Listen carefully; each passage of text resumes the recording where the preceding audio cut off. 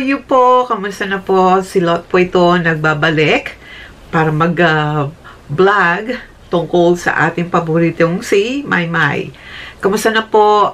Maraming maraming salamat po doon sa mga naka comment nung nag-upload po ako recently and believe me, nakakatuwa po dahil kahit paano, meron pa rin po akong nakikitang mga sabihin na natin, alam ko gusto niyo po talaga magkaroon ng Mayward.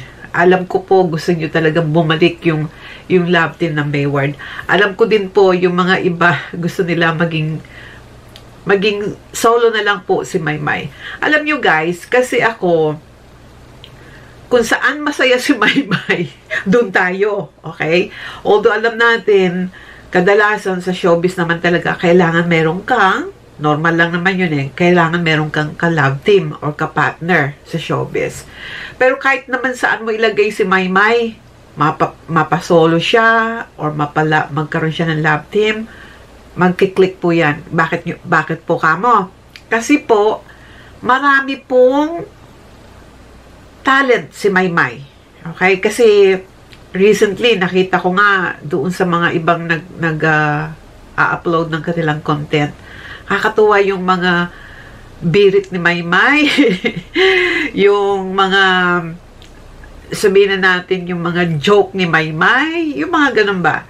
Kahit saan nyo po ilagay, sa, pan sa pananaw ko po, kahit saan, na, saan nila ilagay si Maymay, pihado talaga, kakagat at kakagatin yan ng madlang people. Okay? Kasi una, since nakilala natin siya sa PBB, kumadyante talaga yan. Talagang super lively, super positive, tsaka very, very napaka-friendly po talaga. Okay? Now, kasi, alam nyo, ewan ko ba, nung pinapa, lagi, kasi sabi ko nga po sa inyo, lagi po akong nag-lag in sa, uh, sa IG account ni Maymay kasi gusto ko nga pong makita kung ano na yung mga latest and all that. Napansin ko po kasi si Maymay kumakain ng, ng ano, potato chips, lace. Tapos, nagpunta din po ako dun sa account ni Edward just for the heck of it. Meron din po siyang kinakaing chips, yung lace nga po.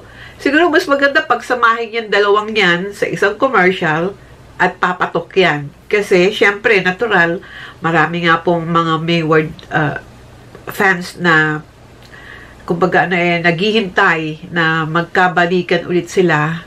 Kasi pagkaalam ko, single na po ulit si Maymay, di ba? Eh, wala naman akong balita doon kay Edward kung single po siya. So, kung, kung maganda, kung pagsasamahin sila ulit as Mayward, magkiklik po yan. Kasi, iba, ka, iba po kasi talaga yung chemistry nilang dalawa eh. Kahit na magkatinginan lang sila, meron ng tatawa at may kikiligin na, you know?